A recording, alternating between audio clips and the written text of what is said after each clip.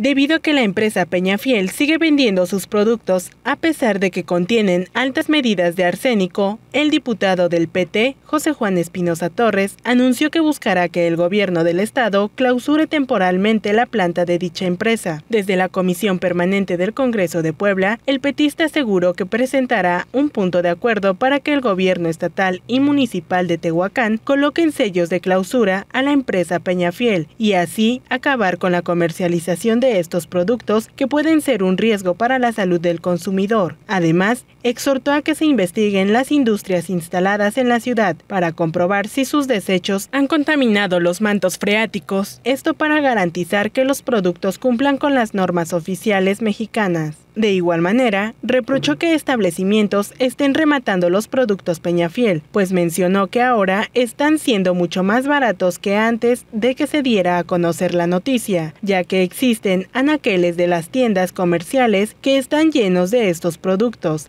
Espinosa Torres aseguró que la iniciativa que pretende plantear ocasionó una ola de comentarios negativos en redes sociales, por lo que tomó estas cuentas como bots relacionadas con la compañía. Por último, posterior a la presentación de este punto de acuerdo, el legislador reveló a través de su cuenta de Twitter que por órdenes de Fernando Manzanilla, titular de la Secretaría General de Gobierno, se frenó dicho punto de acuerdo que busca garantizar que la empresa Peñafiel instalada en Puebla cumpliera con la norma. Qué vergüenza que quienes se dicen parte de la cuarta transformación cuiden los intereses de empresas transnacionales, escribió.